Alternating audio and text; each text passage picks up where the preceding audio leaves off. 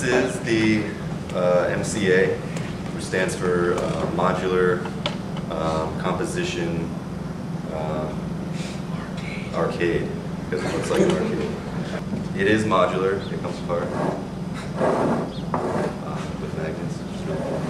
Uh, we got a bass, melody, and some drums.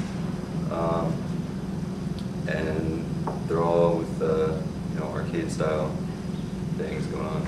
The uh, motivation behind our project was to kind of have not only a design that you can play uh, different parts of, uh, say, an orchestra, you know, you can have your melody, your bass, and your drums, um, but also we wanted to integrate the ability to have multiple players in the orchestra. So um, the goal was to be able to involve more than one person.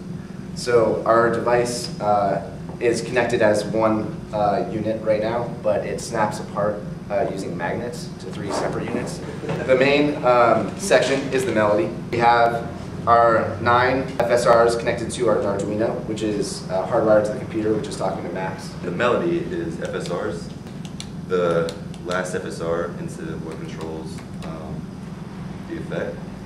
So we got LFO and we got a filter sweep, and then you push on the FSR, and that's how much you get.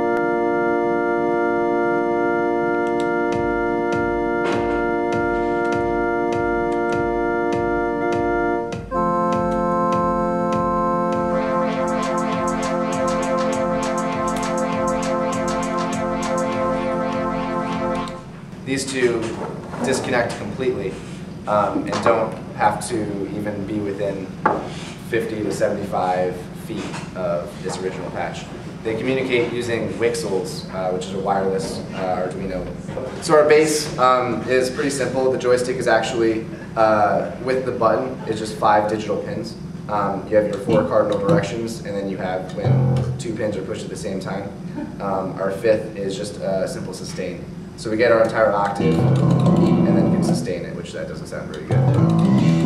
And then our drums, we also have another Wixel uh, with our different drum individual hits, and then our drum beat, which we have different beats that we can layer in.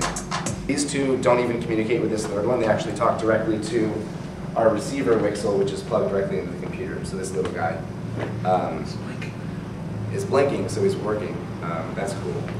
So up at the top um, here, we have uh, basically just the code to get the information from the Wixel here.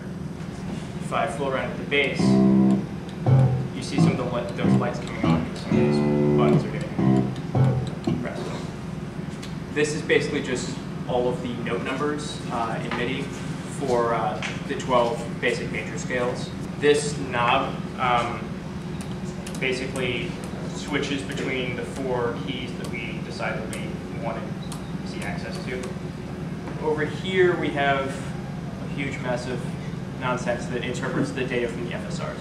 When the force on the FSR exceeds a certain value, the note comes on. Then when it drops below a value that's slightly lower than the threshold for going on, um, it turns off again. When it passes the, um, the threshold value, there's a 75 millisecond delay, and then the value, the force value 75 milliseconds after it crosses that threshold is scaled and becomes the velocity. Um, down here is actually the drum logic. If you hit one of these, it turns on one of the, the four drum patterns. If you hold this button and then select one of these, you switch between uh, kits.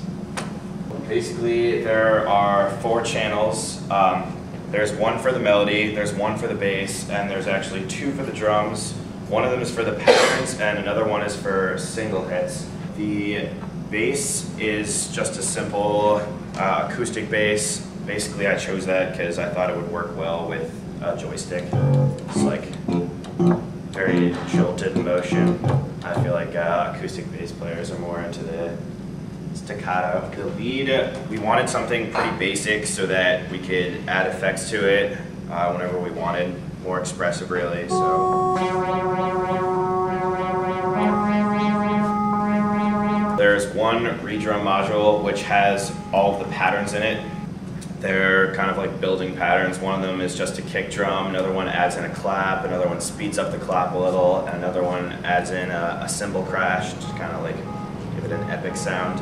I have three Kong drum sets, which basically give you different sounds. In theory, if you wanted to, you could have all three kits playing at the same time. It'd sound kind of bad, but you could.